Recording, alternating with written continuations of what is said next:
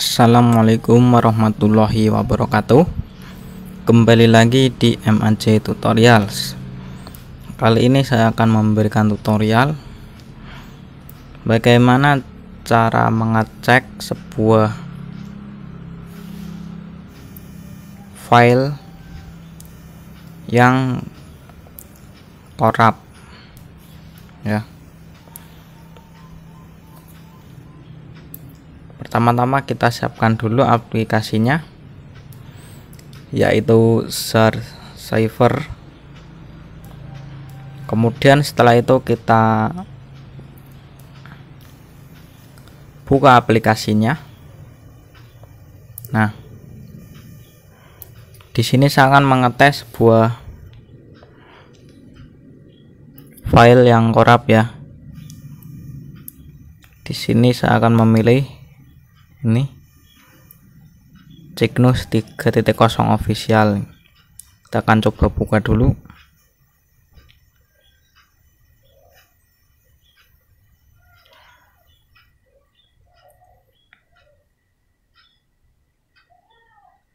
Nah di sini terlihat bisa dibuka ya tapi kita akan coba mengetes apakah ini korup atau tidak.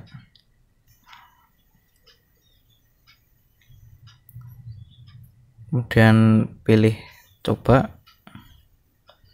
Nah di sini terlihat filenya korup ya. Operasi selesai dengan kesalahan. Ada dua notifikasi akhir arsip yang tak terduga dan kesalahan CRC. Nah, di sini maka file zipnya ini terbukti korup ya. Saya akan mencoba file satu lagi yaitu Cygnus 2.1.1 official. Kita coba buka. Di sini bisa terbuka kemudian saya akan coba mengetesnya.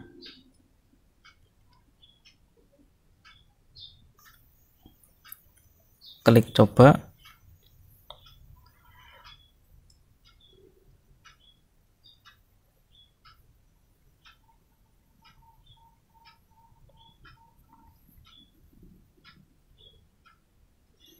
Oke, di sini terlihat ya Notifikasinya arsip tidak mengandung kesalahan.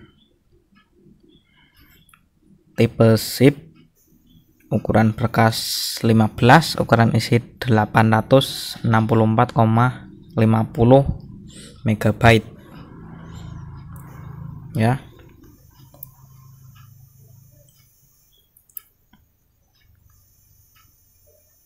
Oke, untuk file yang tadi yang korup yang Cygnus 3.0 official ini. Meskipun kita pakai untuk memflash gaps ke ROM kita tetap nggak akan bisa ya karena filenya korup. Meskipun ketika kita membuka di sini memang bisa terbuka ya. Memang bisa dibuka tapi ini aslinya korup maka ketika kita pakai untuk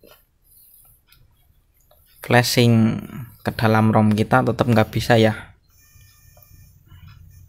Karena di sini kita ketika dicoba terdeteksi korup oke.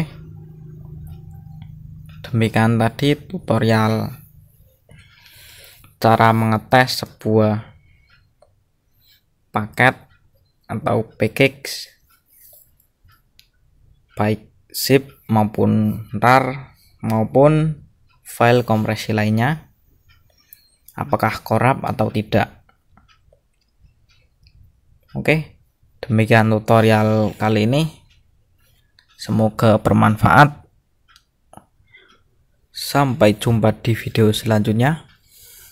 Wassalamualaikum warahmatullahi wabarakatuh